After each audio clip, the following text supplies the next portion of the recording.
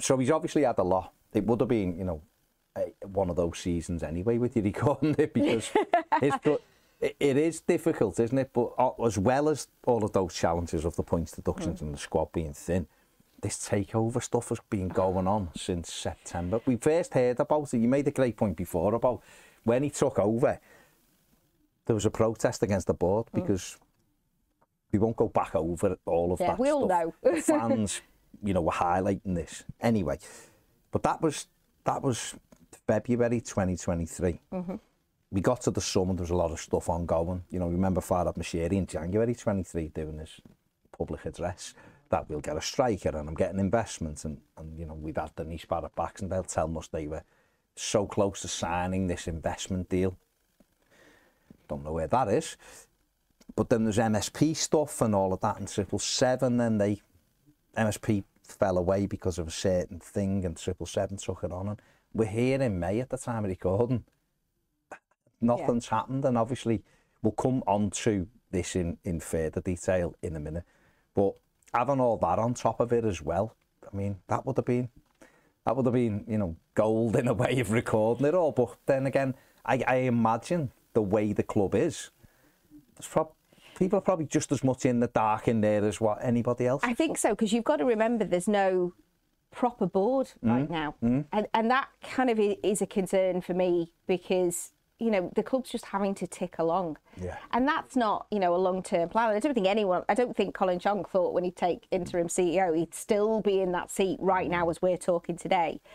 You know, and for the manager as well, he's got to face all these questions mm. week in, week out. And, and, you know, I'm a Dyche fan, so, you know, I know he says he's Marmite, and I think he accepts that. So I understand some people aren't his biggest fan.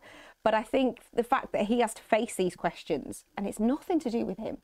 Chances are, when he says he doesn't really know, he probably doesn't really know. He's not lying. He doesn't mm. fully know what's going on. Can I ask you as a journalist then, because obviously me, this is something that me and Ped have said many a time. Is that it's unfair that he has to front mm. this up. He's the only one, really. Yeah, he's the, he's the he's, only leader that Everton's got right Exactly. Now.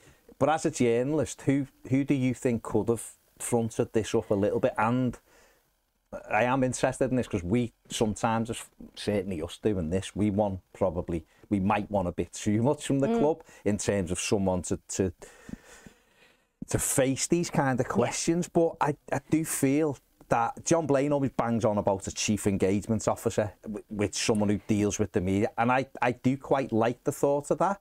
It's very American that, isn't it? It is, but and I get that. Who would speak though, Julie? Because I think in these moments, I think all the team, yeah, absolutely it's got to be the manager. I think I do have an issue that Kevin Thelwell doesn't speak, and I know you've you've interviewed him. and He came across fantastically yeah, well. Yeah, he does, and I wish he so would. So I don't yeah. understand why. Maybe I should go back in and speak to him. I think you. so, because yeah, because I don't, I don't think the club do it to be fair, or Kevin doesn't want to do it. But that is a bit. I will admit that to me, that's a bugbear mm. of mine because I think he should be able to regularly mm. update. Doesn't have to go. Here's my list of players who we. He doesn't have to yeah, do that. I, I think business but, deals and player mm. deals. Mm I appreciate everybody wants to know the ins and outs and all the mm, details. Mm, you, you, can't because you know you don't see Marks and Spencer going on the telly mm. and talking about their business deals. No, that, that's just not going to happen. But I agree with you. I think, but I think right now, given the situation, given you know every everything's interim, anyone that is there is interim. Mm. I think it's unfair on Sean Dyche to keep being asked these questions. Mm. I think it has to be the owner. For me, the owner yeah. needs to come forward and explain whether that's through the media, if there's a press conference held, or if he does it via the club. Mm. I think now he's the only one that's got any power in the situation that Everton's in. I don't think people day to day in the club have got the power to push this takeover deal through because I think it will be done by now. Mm. It's the owner that's holding all the cards. So I think Farhad Moshiri now needs to come out and speak and explain exactly what the situation is, mm. where it is today, where he expects it to be next week, yeah. and where he expects it to be for the summer transfer window mm. and next season. There needs to be a 12 month plan, fairly public now. Mm. Is he going to still be the owner when we kick off the new season? Will he still be there for the final season at Goodison?